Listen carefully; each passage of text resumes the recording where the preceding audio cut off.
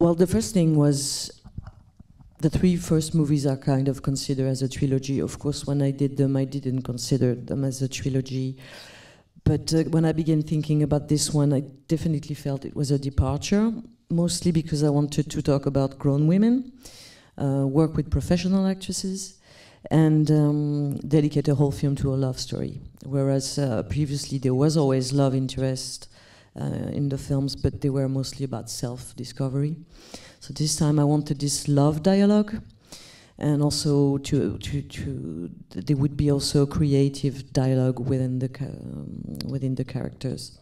Um, so that was the first thing, and the, the period piece thing came afterward. You know, I didn't want to to, to go. Uh, I didn't really care about this genre of costume um, films. That's what we call them in France. Um, but wanted to talk about a woman artist, decided to go for painting, went throughout art history and discovered about that special moment where there was this, this great scenery for women artists the second half of the 18th century. There were hundreds of women painters. When I came upon this reality, it was quite a shock. Um, and it definitely made the urge to make the film um, at that particular moment. But mostly, I think it's the films that should be contemporary forms, and you know, most of the contemporary films they're not contemporary at all. There's just you know, kind of sometimes they feel old school, old fashioned. So I really went, went through this writing and directing, thinking, okay, the fact that it's set in the past is actually a compass to make it uh, profoundly from today.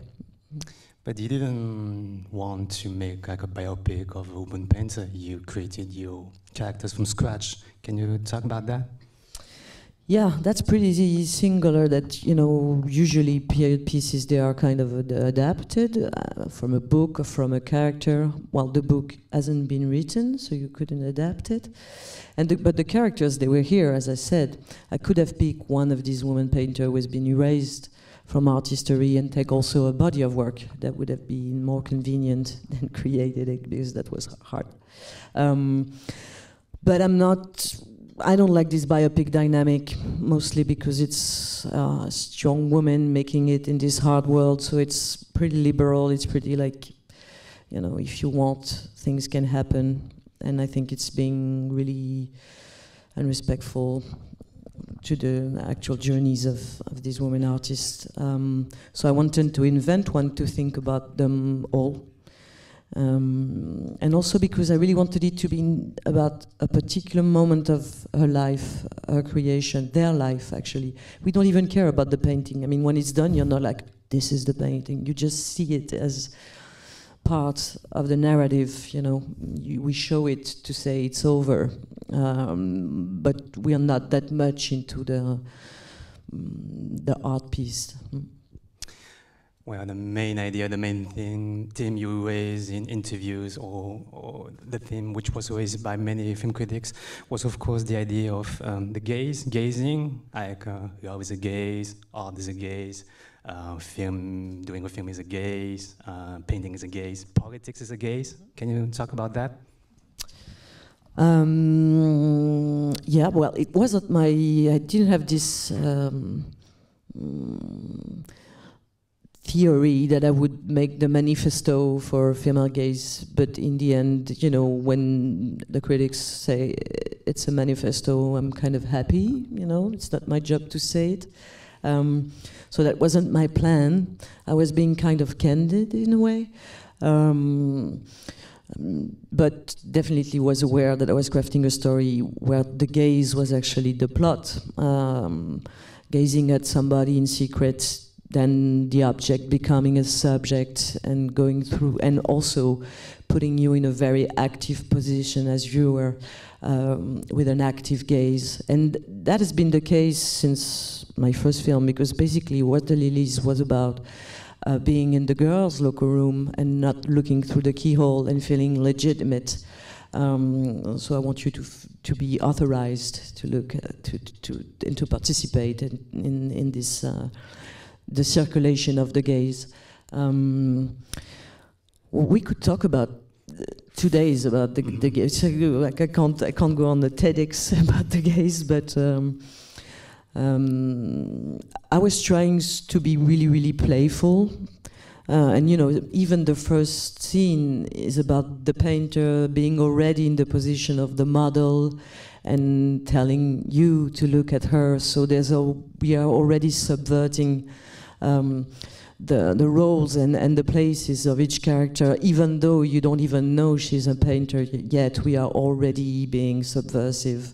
So the idea is to put you in that position where um, you we will build the grammar of the film and you will we will create this rhythm and and you will speak the language of the film uh, as, as the film goes by. And in the end, like page 28 is totally uh, symbolic of the pact that we that the film is making with you and the characters. You're equals with the characters. When you see page 28, this is also your love dialogue with the film. So that means that now you share the brain of the film. We have the same brain, and and you understand and speak the language of the film. Thank you. the robots are not clapping. I was sure that they wouldn't. So you're supposed to be an active audience. Do you already have some questions? Can I ask you something about the privacy? Privacy, yeah? I mean, is this really recorded? Yes. Yes. But what about people I don't want to be Yes. You're not recorded. I think we are recorded. Yeah. But then there are actors who are playing your part and they're asking a question. One of them is going to be asked by my mother, I think. Who wants to be my mother? It's the European Film Day, so it's part of like um, a streaming uh, thing. Uh, we are broadcast somewhere. We don't know where. We don't know where. Yeah, maybe in outer space. Maybe at the. I hope ISS it's in churches. Yeah. maybe the aliens will catch that thing, this streaming, like in one million years. That's the Yes. question. In the beginning, it was described in, I mean, it was shown in much detail the way the, the painter studies Eloise, the way she's trying to sort of capture her and understand her. And I was wondering whether it comes from your experience as depicting people in film. Well, yes. Um, and I mean, on the set and in the process of casting, you definitely look at people and especially the face. Like, I must say, for instance, I realized that, like, when I cast Noémie Merlant, for instance, I didn't know her. I hadn't seen her in any films. Um, and she got the part, and then in the process we began the costume design and i realized that i didn't know a body i didn't know a body i know a height but like i went in the workshop where we were tailoring the costumes and i saw the figures of you know the numbers and i was like okay and you know it tells something i think that um, i think i'm always into the choreography of the faces, and I, actually, the, even the beginning of a film is about discovering a face, and even the directing process, I direct the faces a lot. Like I would tell them how to breathe, when, open your mouth, close your mouth, close your eyes. Um, that's my interest. I'm not answering your question, I think, but um, and also but Noemi, Noemi says it, um, so that's I'm going to quote her because I, I, didn't notice. But in the process of making the film, also, and it tells a lot, lot about our collaboration uh, and how the gaze was actually mm, circulating. Um, she would look at me, looking at Adele, to then when I was doing like the short reverse shots, for instance, she would look at me, and sometimes I would just look and she would be, and I would be, like that, and so that she would then perform that gaze, and she would also look at the painter, who, wa- who was a body double, a hand double, um, and she would actually always look at her face also, not only the end, even though she would have to perform what she just did, was mostly about looking at her face. That's my answer. But we will change the question, you know, because you'll, yeah. you'll be an 80 year old white male. Is it okay? You've been talking about the separation of gazes between you, Noemi, and, uh, and Adele. We could uh, also add the DOP, Claire Mathon, and the painter, like the woman who painted uh, those, those paintings, uh, Hélène Delmaire. Uh, can, we, can you talk about that? Yeah, she. mm, that's the first person I casted for the film. Actually, it's uh, Hélène because I. We had to create the visual style of this artist, and we knew that we would take a, a long time. So it was even six six months before shooting. We hadn't all the money yet, but um, I I found her on Instagram um, because I was looking for a young contemporary artist who would do oil painting and portraits. Um, and um, and I went to see her. She knew nothing about movies, um, so that's why she said yes. um, and um, why? Sorry? She regretted it. Because we didn't know how hard it was going to be. Because it's super hard to recreate the visual style of an 18th century painter, obviously. And we didn't try to make it that right, you know. Uh, that's why I decided to work with a contemporary artist and not as a copyist or a specialist, because we, were, we knew we were doing 2018th century.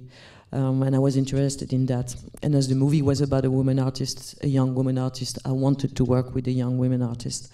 Um, no, she said it killed her, but it was a beautiful death. and that she wouldn't do it for a million dollar. No, but it's because each painting is 70 hour is a 70 hour job. And you know, we didn't shoot it chronologically, so she had to do so many frames, so many steps because we say, okay, today we're gonna do when you do the eyes, so she would have to do just this figures, then the dress, and so we have tw- twelve frames, I think, uh, and there's two, there's also two um, portraits. So it was, um, yeah, really, really difficult job. There's an exhibition actually. I think it's in Spain right now uh, of all the frames. And it's pretty cool. Um, no, no, she she she enjoyed it, but you know, retrospectively, I thought, oh, I haven't seen a painter invented in cinema. There's not many, or it or it's you know it's Turner, it's Van Gogh. You know them, and you you, you take the pleasure in seeing those those art pieces you know being made. Um, but inventing a painter and an old-fashioned one, I mean, inventing a Jackson Pollock is quite easy, I think especially because we make cinema make always makes fun of contemporary painting, which I think is um, terrible. But that's another subject. Someone else, yeah? First of all, thank you for all of your movies because I love them from the first one. And um, the transitions in the characters are very su- subtle for me, and I really love that. But how do you test what is subtle and very, um, yeah, how they evolve in the, in the films? Well, you know the um, the movie is two hour long. I know you know. I wish you would have said, "Oh, I thought it was an hour." It was just just time flew by. Um, um, but there's only 69 sequences, which is very few. I mean, a basic film has 100, basically. Also because people are making scenes where you just open the door. But um, I try to make them really full and that each one is a step but it's that it's not only devoted to one thing also so that there will be several layers in each scene um, but that they would be all really important and that's also though i think because it's my fourth feature film and i i wanted to you know, you have the experience of something having to do scenes, like I have to do that scene, it's useful. Otherwise, people won't get that blah blah blah, and that she went to the supermarket, so she has to take the car. Um, and from film to film, I'm trying to get rid of this. And this time, I really went for like, I'm gonna just watch things that I really want to watch 100%. And there's no cutscene in the film, for instance, and it's edited in the as it was scripted, which could seem a little bit scholar, and people would be ashamed of that. I'm not ashamed of that. I totally, I'm proud of that. You know, I'm proud of thinking about what I do. But it would look like we're not free and we are not reinventing things. But you know, it should be about inventing them and feel strong about it.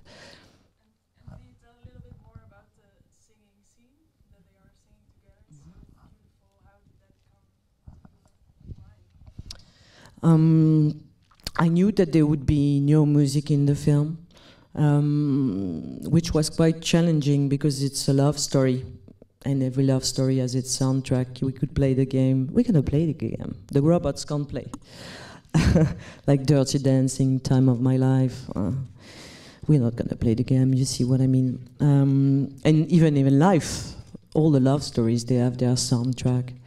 Um, but it was because it was a period piece and also because it was about love and art and how art con our love is an education to art and our art consoles from our loves um, and um, I want you, you to be in the same position as um, the characters you know 18th century you find a book you can read it 20 times especially where they live uh, hearing music you have to go to church. Um, and uh, so I didn't want you to have access to beauty that they wouldn't have access to, and also to also because the movie is talking about cinema. To there's no music because you're gonna feel the power of music in cinema. Um, and I knew that there would be Vivaldi, um, and I wanted it to have also an original uh, piece and something that would be like the anthem uh, for the film. I also hope it will be the anthem for uh, the women, French women's soccer team. I told them, I told them, I'm, i want them to go on the field with this song, and they say, why not? So we're like, hey, if this happens, I stop cinema. um, and I, I, wanted it to be super high in BPM, wanted it to be kind of a trance. Uh, and with the Para One and Arthur Simonini who crafted this, we talked a lot about ligeti, and um, so not at all 18th century, but it's one of the moments also where we're thinking about Kubrick. We talk about, we thought about Kubrick for that music and also for the candlelights. But that's another subject someone else. Yes? Yes, I want to congratulate you with this beautiful movie. Thank you so much for that. Um, I was wondering uh, if you can uh, talk a little bit more on uh, the choices you make for these two actresses. How did you get to choose them? Well, the film was written with Adèle Haenel in mind. We had, had we'd done our first feature together and wanted to work together again, so the part was written for her. Um, strangely, you know, people were telling me she's gonna be the painter, and I was no, she's gonna be the model. And politically, it was already weird that people would ask that question. Like that part wouldn't be strong enough for her, even though it's the part the part of the actress. So we were laughing a lot. Um, and as I as I was gonna look and film somebody that I know very well, Adèle, I also wanted to meet somebody because that has always been the pleasure of making films for me. Um, but previously there were young children, children or, or, or teenage girls, so um, they would not be actors. They would become actors in the process. Um, but I wanted to still have that feeling Um, and also because it was a lesbian love story, I wanted everybody to believe in that couple and I'd have the two actresses having the performance. I really wanted to make this strong, iconic duo, and the fact that the lead is not identified by uh, by the wide audience, I think, is uh, is good for that. I mean, you know, Mulholland Drive, uh, those two actresses, they were like, oh, I mean, she wasn't that big at the time. Um, Naomi Watts, Naomi. Watts. David Lynch knows. Um, and um, and so I, I I met a lot of young, I mean, 30 years old actresses, a little bit older also, and a little bit younger, but I didn't want the age gap because I really wanted to build this whole relationship uh, on equality. Uh, and there's no gender domination, so that was easy, but also no intellectual domination and no not playing with the social hierarchy and that was that was already scripted, but it all became very true in the process of casting. And when I saw Adele and Noemi in the same frame, I felt that new thing, and my heart was racing because there was strong equality, and I felt like this was gonna be full of surprises for you. That's the beauty of equality. You never know what's going to happen. You know, they make it sound boring. It's not. There's someone else, I think, behind. Yeah. Uh, is there a parallel um, in the possibilities to, to live your se- homosexuality uh, now and in the 18th century? Um, well, we try to. I mean, homosexuality, even the world is an anachronistic uh, regarding that time. But um, we're trying to build bridges. We're trying to um, embody what's not been embodied, that is to say, the body of these women, their desires. Um, their, you know, it's, they were officially oppressed at the time. Now it's unofficial. Um, but it's not because you don't have the right to run that you don't want to run. If it's not because you don't have the right to love that you're not full of desire. Um, so it's mostly about yeah the the fact that the intimacy are the same. Uh, the context might be different, but uh, I truly believe that what we are telling is not anachronistic, and that what we're telling still happens today. This type of love dialogue of relationship. So I'm not trying to wink at the past from the present, and I'm not trying to build to recreate this past as a metaphor for today. I strongly believe that it's it's um it's love. It's the way it's it's their it's their love dialogue. It's also a lesbian imaginary that exists today and, and I guess existed before. Someone else? You mentioned in your interview Titanic as um, influence on the film. Can you develop that? Draw me like one of your French girls. yeah, but there was no. Well, it was all. No. Um, well, no, it wasn't a direct influence. I mean, that scene of uh, DiCaprio's gaze doing like that, and DiCaprio, I mean, was obviously kind of a lesbian at the time. Yes, that's why it was picked. I mean, that's why the movie was so, I think, universal. It's because they were so gender fluid, both of them. Um, it's not a direct influence. It's just that I've been thinking a lot about the structure of the film because I wanted both the present of a love story and the memory of a love story, and the fact that it should be an emancipation. You know, the fact that even though they don't add up together, it's a good thing for the character, the one that is alive, anyway. Um, and so I put up this, I crafted this big flashback and this, and I, felt, oh, this is good. And then I said, oh, this is Titanic. It's like this woman going back in the past, and then and then it's tragic. It ends, but it's cool because she got to ride horses and wear pants and live a life in America. So it's actually, I think it's it also explains the huge success of Titanic. And I don't understand why my film is not making millions. Actually, Should I put a boat?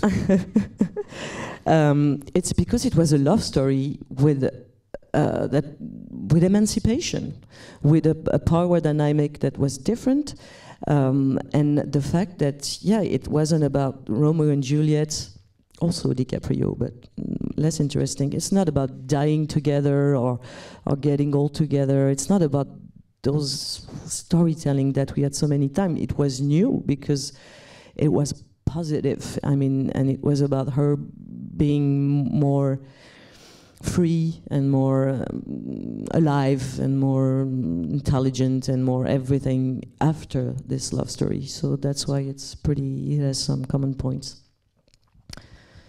but nobody dies, and there was room on that door. There was room on that door. Everybody agrees that there was room. There on was that room door. on that door. That door wasn't designed well. Yeah. it's true.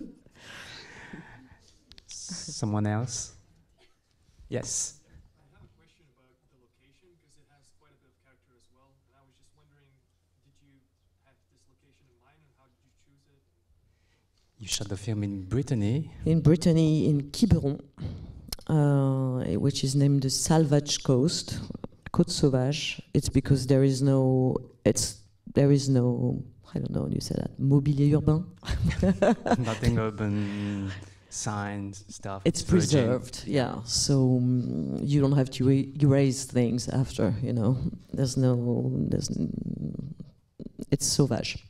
Um, and we shot eight days there, the whole, all the exteriors, and then we shot in a castle in the Parisian banlieue. Um, that is um, a city hall because I visited a lot of castle where people get married, and or or, or films are getting shoot um, shot. But uh, this one was a yeah a city hall left untouched.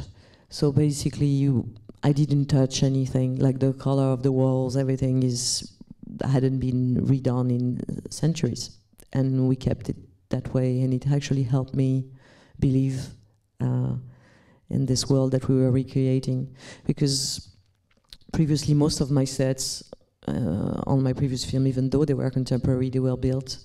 And this time, it's kind of the only time that uh, my set was actually true, which is a paradox, but a cool one.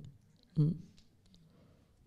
You said in an interview that you wanted this landscape to be very alien, like in Star Wars. Yeah, I felt uh, like the like when Eloise for the first time she's walking on the beach and she has that cape. We were really, we were really thinking that she was a an intergalactic emperor.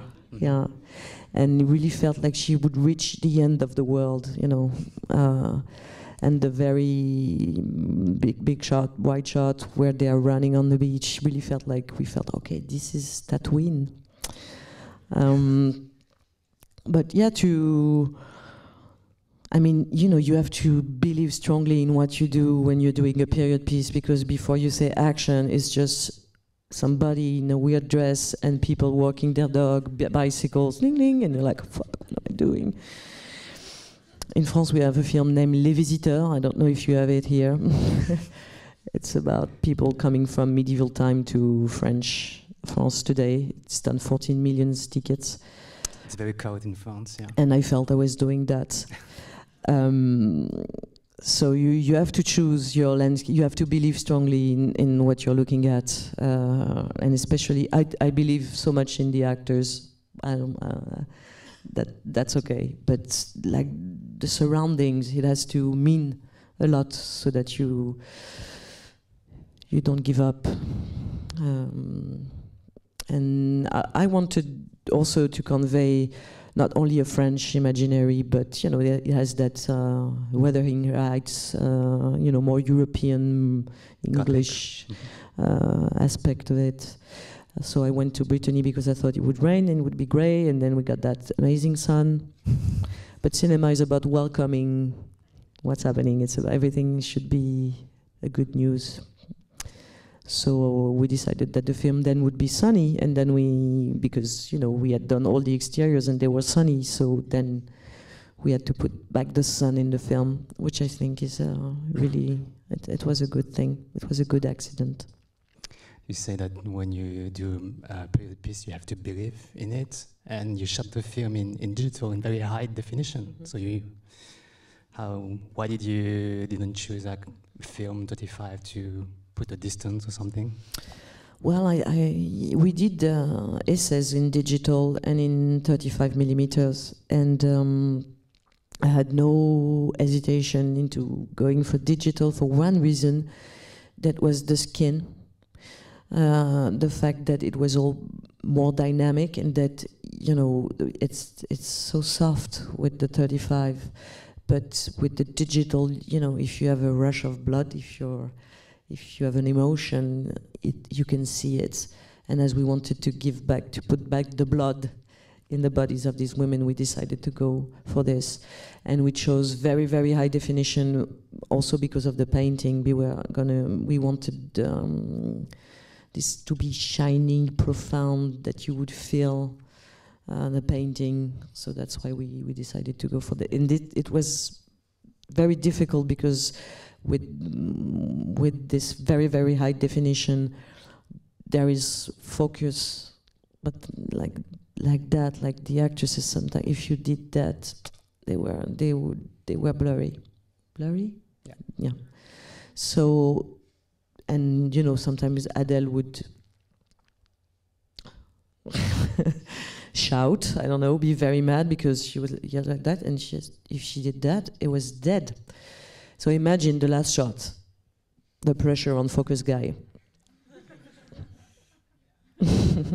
he quit. He quit it. Someone else? The last question. Yes, lucky one. Um, the scene where her dress catches on fire is very visually striking. I mean, I think it's also used as a poster for the movie. Mhm. I was wondering, was that one of the first images you thought of for the movie, and is there some kind of story behind the that? Yes, that's one of the first images.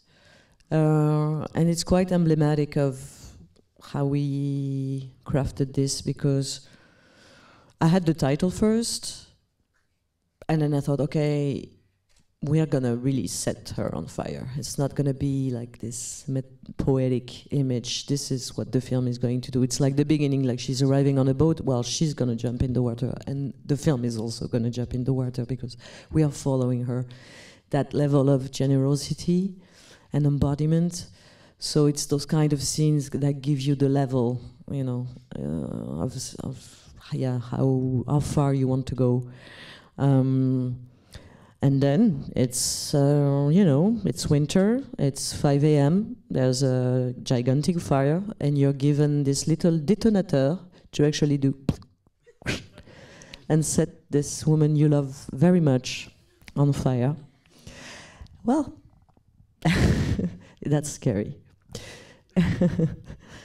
yeah, there's a fireman. No, but it's funny, an image like that, you know, you create it in your mind, you write it, and then at some point it's getting super real.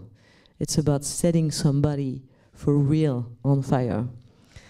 And yeah, but at that moment you really feel you're making cinema because all the visual effects of the film they are they are not uh, CGI. They are not. I mean, everything we did, we did on the set, like uh, you know, Méliès. And um, it's Was it the only take, or did you put it on fire many times? many times. Many times? I had three times, and uh, the second time was the. There was one time very because she was standing behind the flames, so I would set her on fire, and then didn't know how it will come out. So maybe it would come out this big or this, and like the first time it was "Well, okay.